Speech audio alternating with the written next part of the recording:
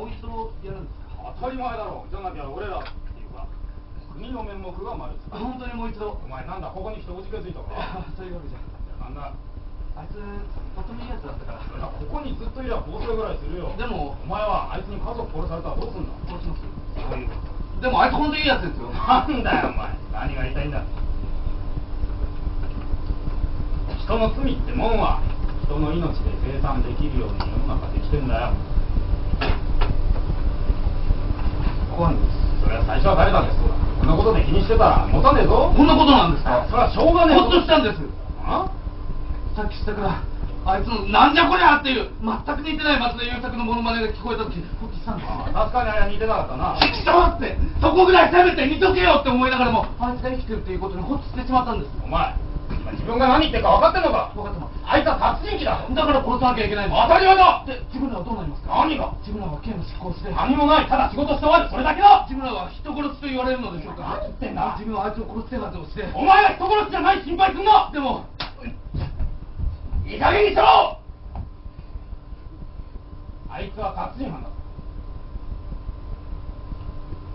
自分はあいつが何をしたのかなんて報告書でしか知りませんただ自分にはいつも笑って人を楽しませ思いやりしっかりと働くあいつの姿しか見てません。俺にはあいつが普通の善人にしか見えません。冷静になれ。でもあいつ殺さなきゃいけないんですよね。お前の意見がどうじゃない国があいつに刑の執行を命じたただそれだけだ。あいつも今頃死にたがってるはずだ。本当ですか？ああ本当だ。本当なんですか？お前俺を疑うのか？いやそういうわけじゃ。じゃあぐちゃぐちゃ言わに早くあいつを殺したいやめろ自分がやらなくちゃいけないんでしょうか？娘を殺された親の気持ちになる。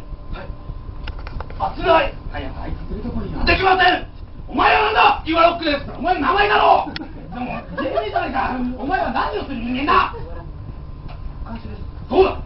我々には職務がそれは何だ？囚人たちの世話と統制が私の職務であります。その通り。我々は囚人たちを最後まで見守る義務がある。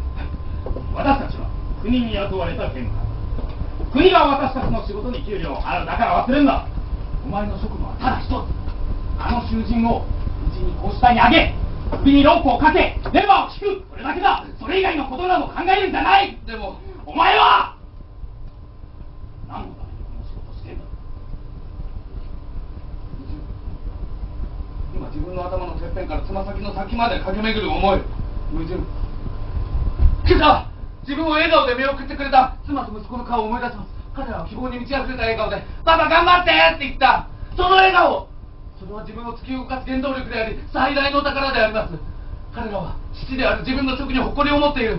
だからこそあんなにも希望に満ち溢れた顔で自分を送り出してくれるのです。そしてそんな僕に今突きつけられた職務は人の命をこの世から消すこと。自分は家族にどんな顔を持ち帰ってやればいいのでしょうか。矛盾。矛盾。矛盾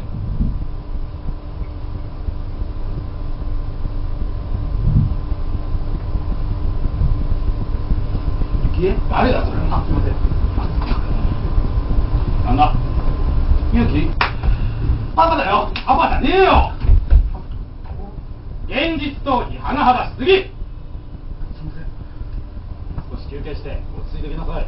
はい。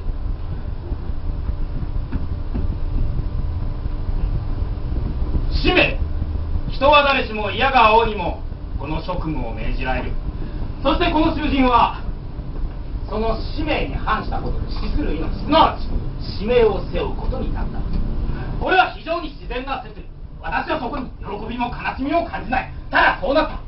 その現実があるだけ。私を残酷だと思うでしょうか。死刑なんてひどいことだと。冗談じゃない。誰かがやんなきゃ。この世は回りしないんだ。皆こぞって慈愛をひけらかしながら。慈愛を求める苦行を繰り返しているが私は私は私以外の何者にも干渉しないということで優しさを表しているのだ。私の。の使命上の方で準備してくれ。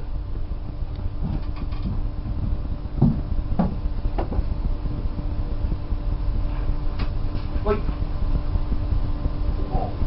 大丈夫か？散々やっといて許せる。うっせえあこっちのセリフだよ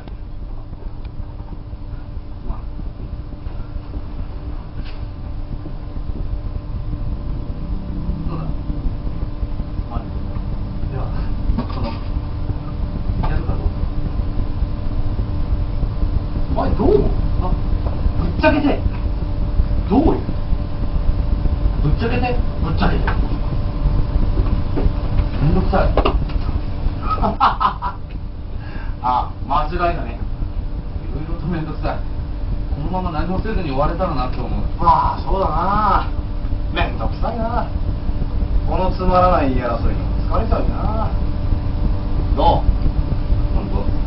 本今度は切れないのかよ。当ああそれはもうキッチキチに締めて固めてカッチカチやぞカッチカチやぞってえお前やんの？あ何言ってんの？もう一度やんのか？こうなったらしょうがないんだろお前だって。でもさっきさまあいろんな人たちにけじめつけないとなそれでいいのかしてんだろ何言ってんだよお前警部官だえさっきそう言ってたじゃないかよ。仕方がねえだろ。しょうがねえ。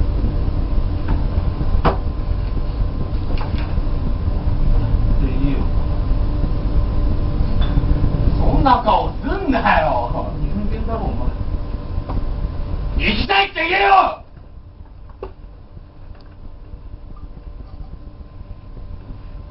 お前殺さなくちゃいけないんだぞ俺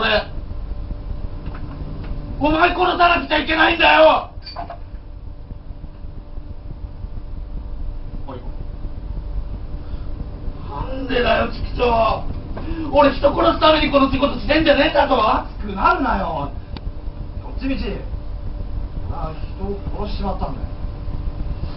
仕方ねえ。死ねば全部チャルになるとでも思ってんのか？あ？バカ言うんじゃねえよ。生きろよ。生きてさ死ぬまで生きて償えよ。申し訳ね俺お前を殺してさ誰に償えばいいんだよ申し訳ね